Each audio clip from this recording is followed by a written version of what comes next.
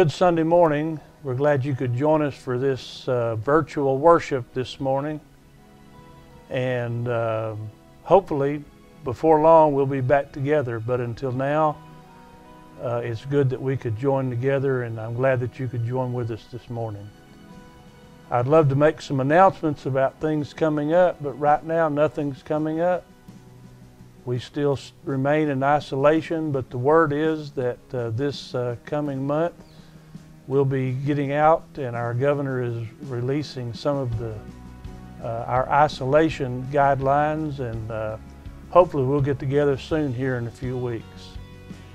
Uh, this morning, let's uh, begin our time together just with a word of prayer. Father, we thank you for today. We thank you for the opportunity to gather together in an isolated way, but somehow feel like we're gathered together here in worship. Father, we just ask this morning that as we as we worship that you'll lift our spirits and uh, draw us into your word. And Father, we pray that you'll speak to us today. We pray through Christ. Amen.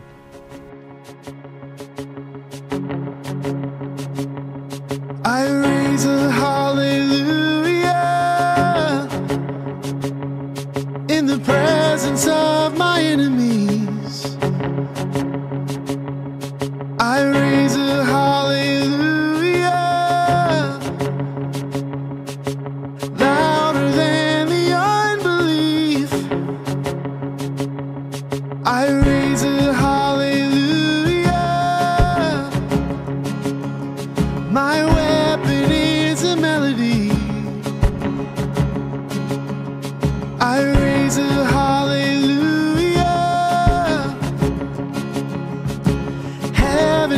comes to fight for me.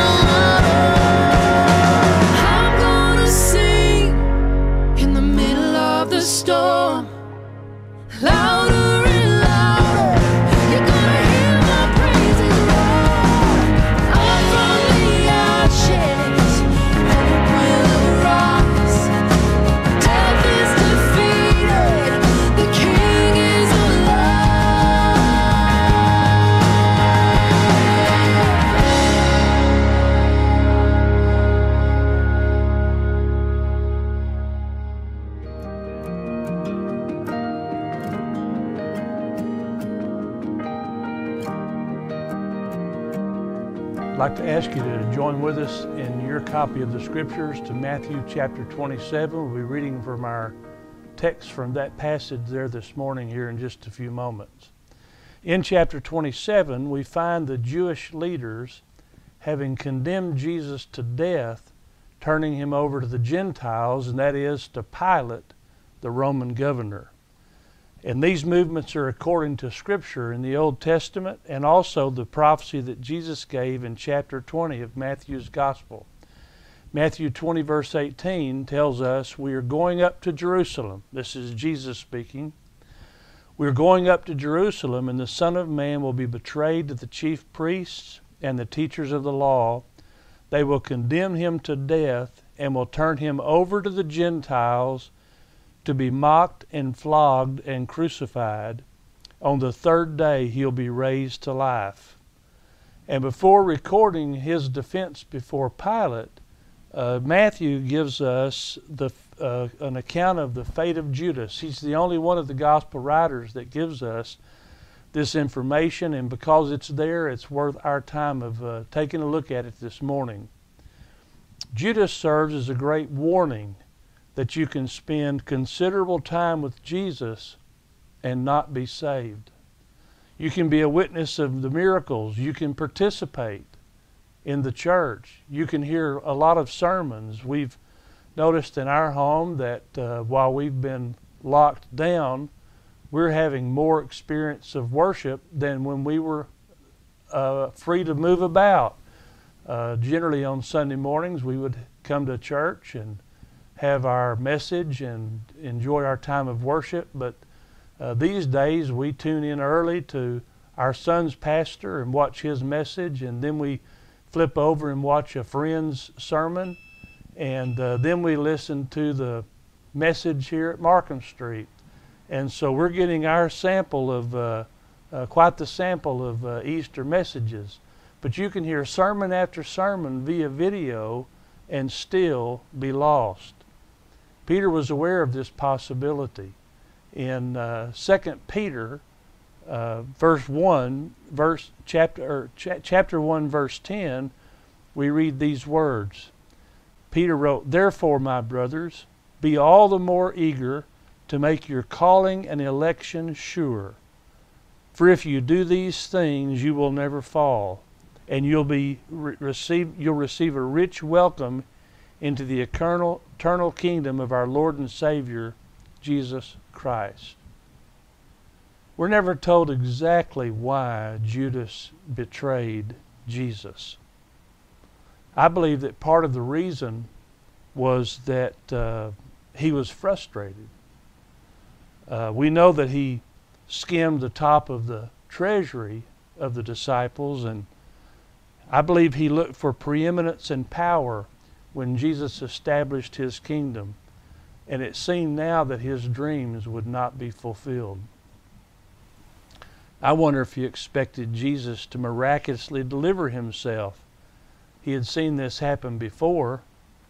Things did not work out this way this time and staying in the shadow of Caiaphas's courtroom, Judas watched the trial of Jesus. And when we come to chapter 27, we read these words Early in the morning, all the chief priests and the elders of the people came to the decision to put Jesus to death. They bound him, led him away, and handed him over to Pilate, the governor.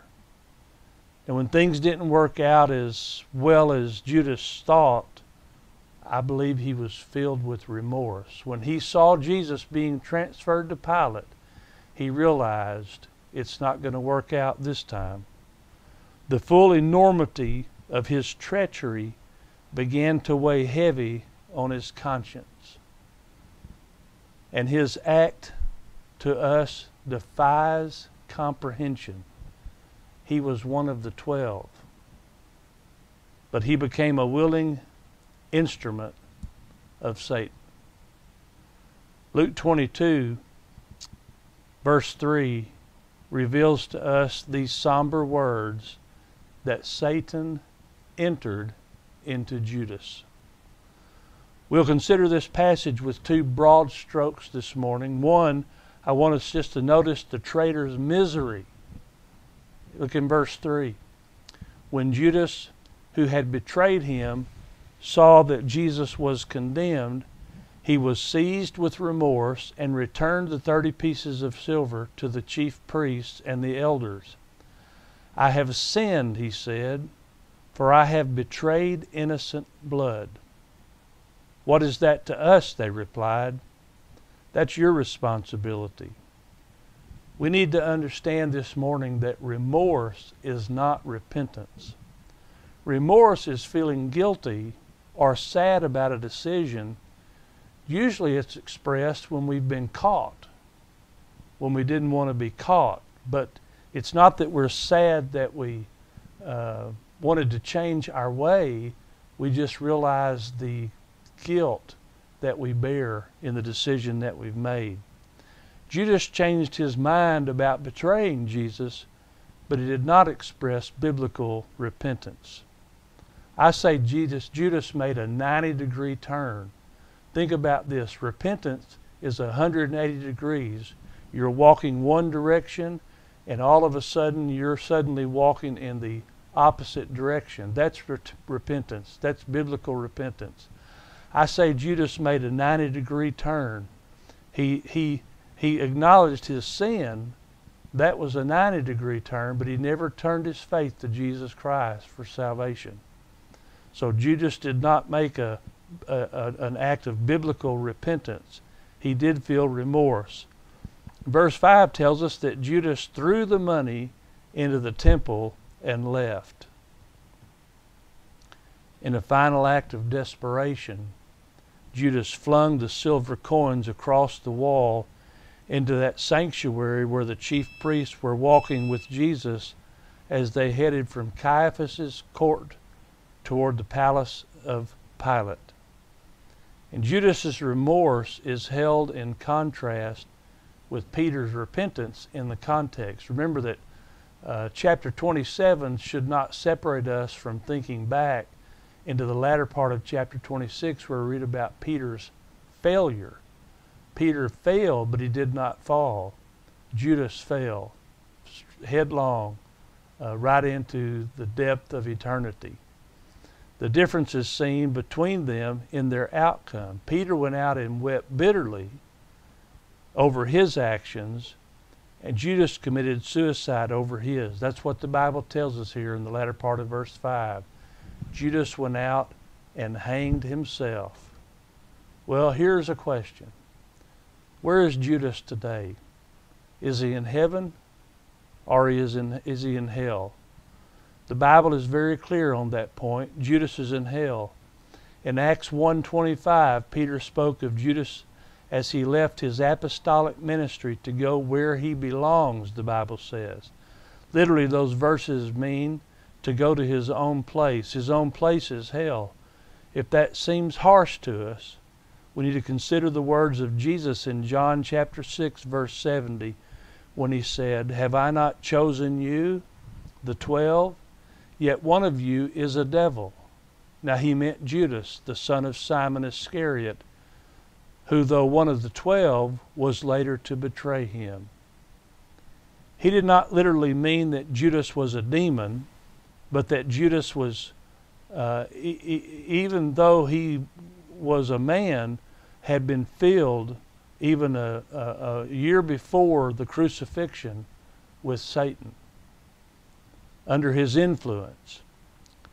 Uh, listen to Jesus as he prays in the upper room on Thursday night. Judas has left to make the final arrangements and even now, the soldiers are gathering for the march on the Mount of Olives, and the final act is about to play itself out. Meanwhile, Jesus is praying for his disciples when he said, While I was with them, I protected them and kept them safe by that name you gave me. None has been lost except the one doomed to destruction, so that Scripture would be fulfilled. Well, dear friends, Judas is in hell today. He's been there for 2,000 years, and he'll be there forever. he has paid the ultimate price for the crime of betraying the Son of God. If someone asks, Did Judas lose his salvation? The answer is no. He didn't lose his salvation because he never had it. Whatever else you can say about him, he was never a true follower of Jesus Christ in the same sense as the other apostles. He was not saved and then lost. He was lost because he never had been saved in the first place. But if someone else may say, Did Judas go to hell because he committed suicide? Well, it's a good question. And the answer, once again, is no. Judas, Judas did not go to hell because he committed suicide. I used to hear that. I've I heard that from time to time that suicide's an act that you can't be forgiven for. Well, suicide is not an act that you can't be forgiven for. Suicide is a sin, but that's not why Judas went to hell. Judas went to hell because he never truly committed himself to Jesus Christ. His betrayal proved that fact. His suicide merely sealed his fate. Well, we've observed the traitor's misery. What about the money? What about the traitor's money? We'll take one other broad stroke this morning. In verse 6, we read these words The chief priests picked up the coins and said, It is against the law to put this into the treasury, since it is blood money. It's interesting to note that they're going to murder their own Messiah, but they're concerned to keep the law concerning this money. They took it out of the temple treasury to pay Judas, but they would not put it back in the treasury because it was blood money. Blood money, by definition, is money illegitimately paid to falsely convict a person when it led to his execution. By calling the 30 pieces of silver blood money, they testified of their guilt and hypocrisy. Just they weren't aware of it. In verse 7, we read they decided to use the money to buy the potter's field as a burial place for foreigners. That's why it has been called the field of blood to this day. Then that was spoke what was spoken by Jeremiah the prophet was fulfilled. They took the 30 silver coins, the price set him uh, for him by the people of Israel, and they used them to buy the potter's field as the Lord commanded me. I mean, 30 years later, when Matthew was writing, it was still referred to as a field of blood because it was common knowledge that it was bought with the blood money that crucified Jesus Christ. Well, at the outset of our message, I referred to 2 Peter chapter 1. Remember? Chapter 1, verse 10 of 2 Peter. Therefore, my brothers, be all the more eager to make your calling and election sure, for if you do these things, you will never fall, and you will receive a rich welcome into the eternal kingdom of our Lord and Savior, Jesus Christ. I think Peter was shocked that Judas, one of the Lord's trusted apostles, would betray him. I also think Peter was strongly affected by his suicide.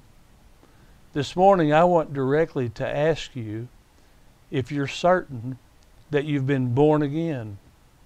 That was Peter's concern, that you make certain, make your election sure, be positive. Don't wonder, don't guess, be sure that you've been born again.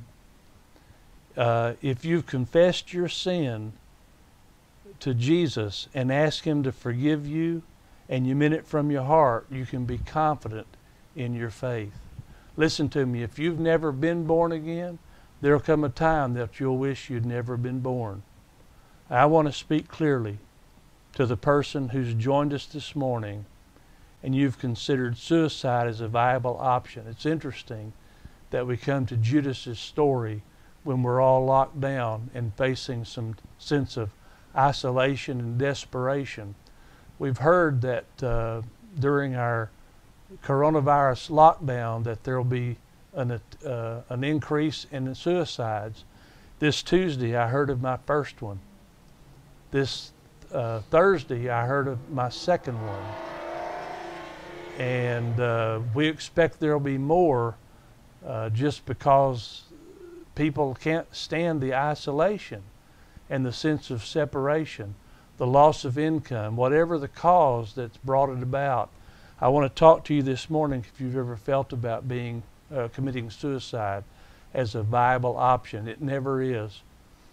I have a friend, his name is Ron Tolles.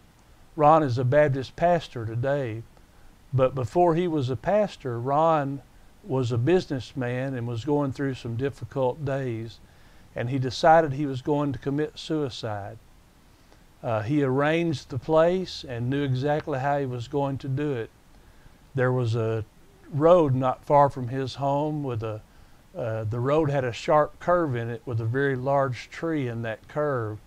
And Ron was going to get his car going at a very fast uh, speed and just drive headlong into that tree and just end it all. That way his wife could receive insurance money and would do fine. And Ron had it all scoped out. And the day that he was going to go commit suicide he kissed his wife, told her he would be back left in that car. But as Ron got on that road, on that straight stretch before that tree, he said that he just sped that car up, and as he sped that car faster and faster, it all of a sudden dawned on him that if there was a God, he was about to meet him. Ron pulled his car over on the side of the road, confessed his sin, and was born again. Ron today is a Baptist preacher someone says, Well, you don't understand what I've done. You don't understand how I feel. Well, dear friend, I, I don't have to understand how you feel to let you know that many people have felt that way. And if you're feeling a sense of isolation and desperation today, I want to encourage you. I want to encourage you that there is a better hope through Jesus Christ. Uh, I mentioned that I've heard a couple of suicides that have already started taking place, and I'm sure that there are others that I've not heard about. I want to I just want to encourage you this morning that death does not relieve guilt. It only makes it permanent and intensifies it beyond comprehension. I want to invite you this morning to turn to Christ and to pray this prayer. If you've never trusted in Him before, I want you to pray this prayer with me this morning. Lord Jesus, I come to you today I acknowledge that you are God's Son and that you died for my sin. And though I've never really confessed it before, today I do and ask you to come into my life and cleanse me of my sin. And Father, I want to follow you now all the days of my life through your Son, Jesus Christ, in whose name I pray. Amen. And dear friend, I want to encourage you this morning that if you're a believer in Jesus Christ, and you're feeling a sense of isolation and desperation, and maybe you've even considered suicide, I want to tell you, there's don't do that. There's no way for you to do that and be justified. It's a sin. It's a sin that takes away your life from the purpose that God intends intends you for. And I want you to hang in there, and I want you to give me a call if you need some help. There's helps. There are helps available. I want you to uh, I'm gonna, I've asked you during our broadcast to drop me an email at my personal email address. I'm going to do that again this morning. It is James and Ava, James A N D A V A at hotmail.com. If you've prayed to receive Christ this morning, or if you need some help getting through this difficult time, I want to ask you to drop me a line and uh, let me know so that we can offer you some help. And if you prayed to receive Christ, we want to give you some material for you to walk through to help you just kind of begin your relationship with Him. And uh, we want to say once again, it's glad that you could. I'm glad that you could join us for worship this morning. And uh, until we meet again at 9701 West Markham, I want to say uh, we just are glad that we could virtually worship this morning. And till till next week, uh, have be safe, be healthy, and we'll see you this time next next week. Amen.